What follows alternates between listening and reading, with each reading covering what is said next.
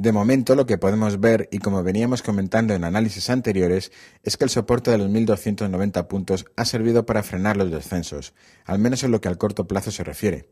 Desde el punto de vista chartista lo que tenemos es el típico movimiento en throwback a los anteriores máximos que en su día funcionaron como resistencia y ahora están demostrando actuar como soporte. Es más, este nivel, el de los 1290, coincide al TIC con un ajuste o retroceso del 38,2% de todo el tramo alcista desde el pasado mes de octubre, por lo que podríamos decir que los 1.290 puntos son doblemente soporte. Ni que decir tiene que la perforación de los 1.290 abriría las puertas a un escenario de continuidad bajista hacia niveles cercanos a los 1.250 puntos, coincidiendo con un ajuste del 50%.